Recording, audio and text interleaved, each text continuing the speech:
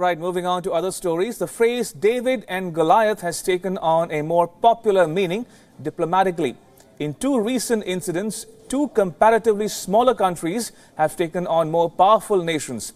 In the first case, the tiny Pacific nation of Nauru has demanded China apologize for the quote unquote crazy behavior of its senior diplomat at the Pacific Island Forum hosted by Nauru. The row erupted after Nauru's president, Baron Waqa, prevented the head of the Chinese delegation from presenting a speech on climate change.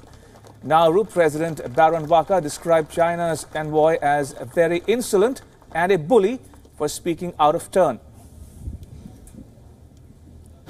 Disrespecting the Pacific, the Forum Island leaders, and other ministers who have come to join us in the Pacific in our territory, in our, in, in our little corner of the world. And you, you look at him, he's a nobody.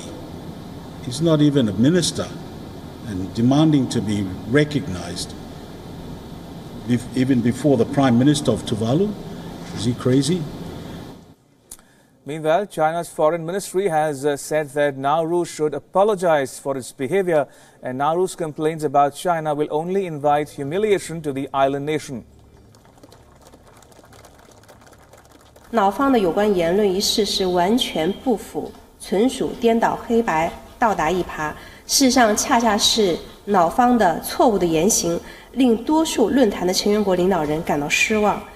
应该反思和道歉的，恰恰是瑙鲁方面。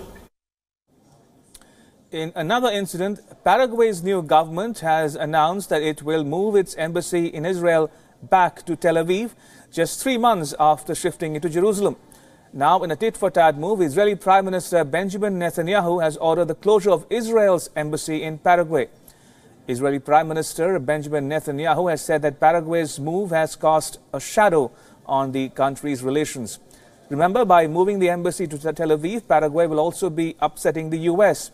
Last year in December, Trump had declared that the U.S. recognized Jerusalem as the capital of Israel. كبير وإنجاز كبير للدبلوماسية الفلسطينية بقيادة السيد الرئيس محمود عباس وهي رسالة قوية لإدارة الرئيس ترامب.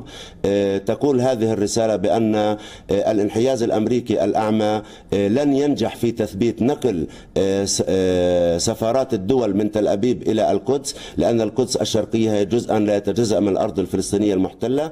وهي رسالة قوية للإسرائيليين لن تستطيعوا فتح علاقات طبيعية مع العالم العالم دون حل القضية الفلسطينية حلا عادلا.